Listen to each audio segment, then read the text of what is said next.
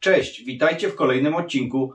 Czy mały okoliczny targ staroci może skrywać jakieś skarby? Oglądajcie do końca. A ja sobie gram na gramofonie Trali tralalala, trali tralalala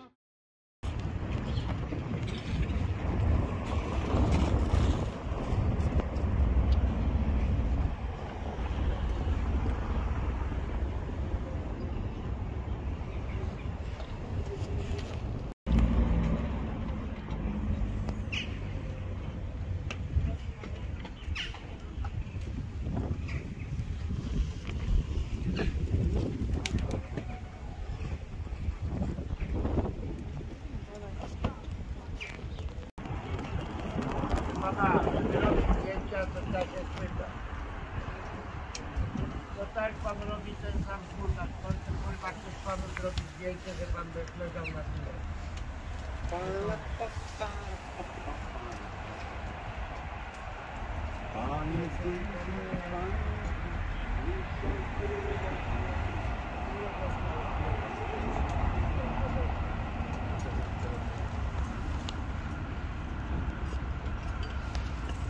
Nagrywam coś, patrzę co jest.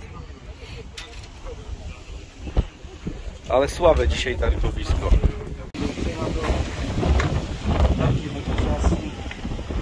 Kto miał komodorka? Ale wiatr, kurczę, komuś poszedł towar, bo spadło coś. Tak,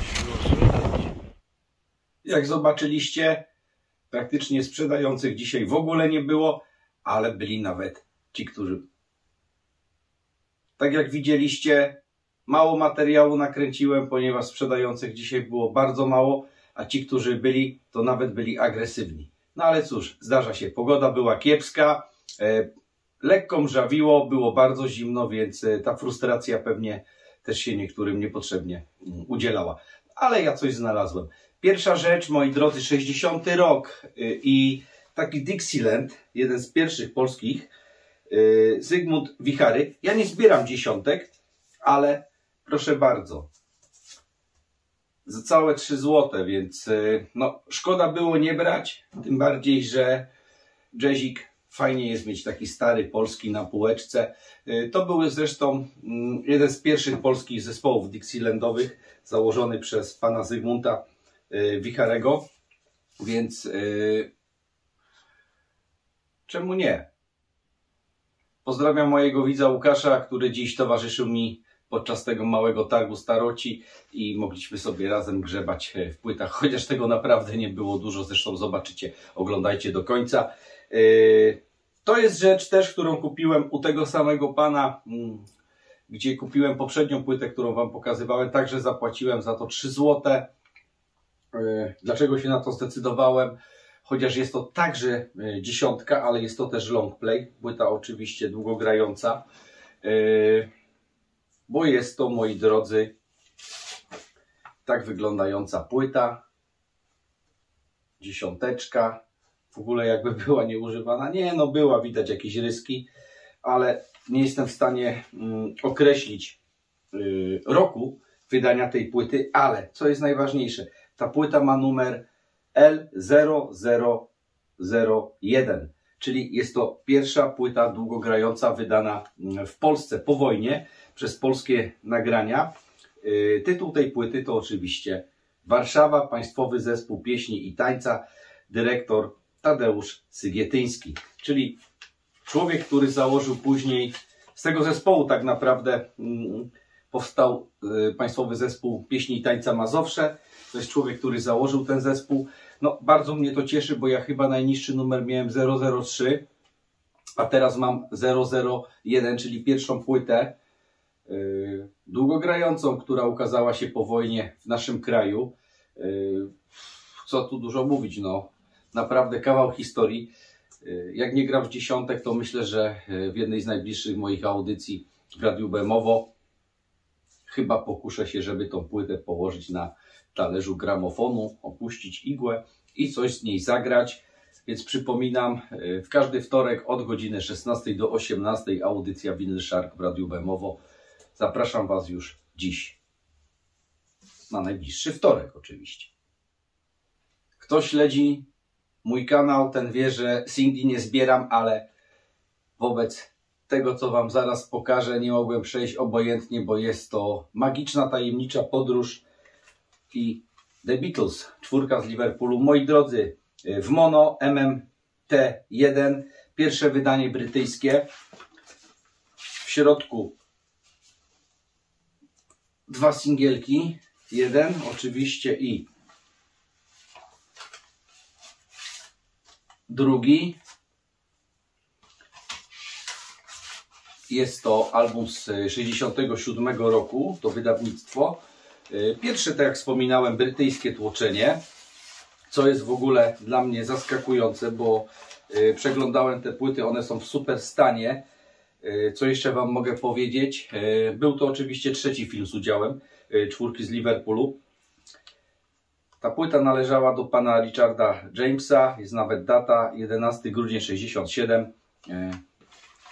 Myślę, że data i podpis zakupu. Zobaczcie, jak to jest cudownie wydane.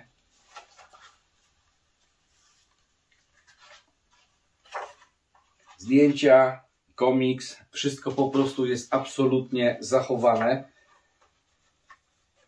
No naprawdę rzadko się spotyka takie rzeczy, więc y, tym bardziej nie mogłem przejść obok tego wydawnictwa obojętnie. Ono mnie kosztowało 20 zł, więc myślę, że ta kwota jest dość niska, y, szczególnie kiedy mm, poszukałem na kilku portalach aukcyjnych tego wydawnictwa gdzie cena jego jest o wiele, wiele mm, wyższa. O, tak to wygląda. To ma też taką okładkę trochę jakby laminowaną, więc y, bardzo przyjemna rzecz. 67 rok, przypominam, pierwsze brytyjskie wydanie Beatlesów. No, to jest rzadkość. Zresztą dajcie znać w komentarzu, czy to jest rzadkość, czy nie. Według mnie tak. Ale zanim pokażę Wam ostatnią rzecz, którą uważam za absolutnego białego kruka w mojej kolekcji, to pamiętajcie, subskrybujcie, komentujcie. Y, subów przybywa, wyświetleń również. Bardzo mnie to cieszy, cieszę się y, niezmiennie z tego. I ostatnia rzecz, jaką kupiłem, i kupiłem ją u tego samego pana, u którego kupiłem właśnie pokazywany wcześniej yy, yy, Beatlesów, albumik ten mm, dwupłytowy dwu, tak naprawdę mm, dwie epki. Y, też zapłaciłem za to 20 zł.